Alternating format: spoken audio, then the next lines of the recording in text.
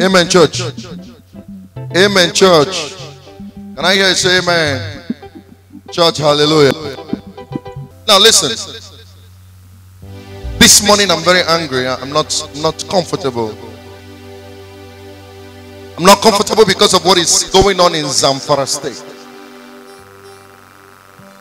Some people are trying to be so foolish in this country, Nigeria.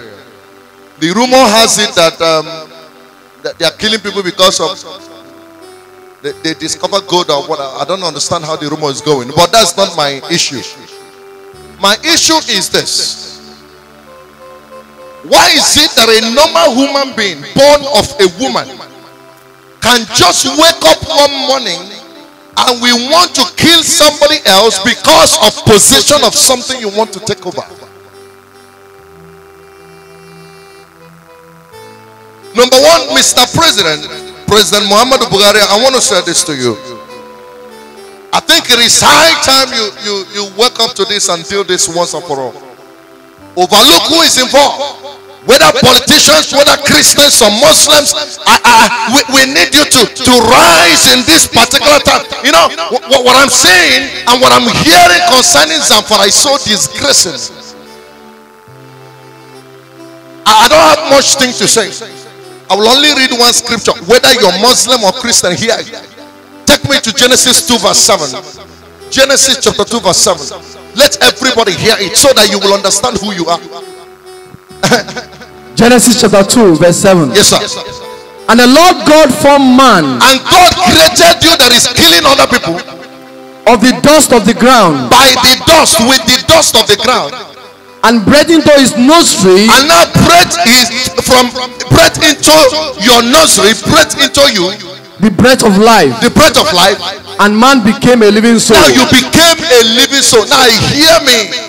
You are an immigrant on earth, no matter whatever you want to acquire, and you start killing people. One day you will die and become go back to the dust. Man, hear me. Whether you're a Muslim or a Christian, you are what? A mere dust. The wrath of God is about to fall upon those who always find it joy to destroy people because of things here on earth. If you don't have it, if you don't know it, I'm telling you now. You are an immigrant here. One day you will go where, back to where you came from. A word is enough for the what? For the wise.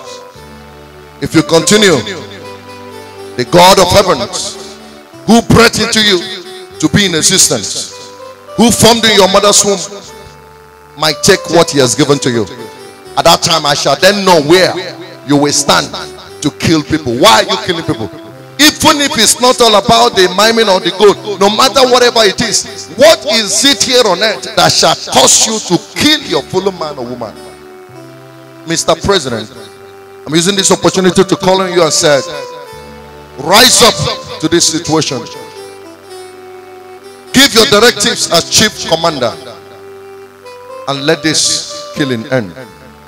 And I pray for God's grace upon you as you lead us to the expected good end of this conflict. In the name of Jesus Christ. Amen. And the church will say amen.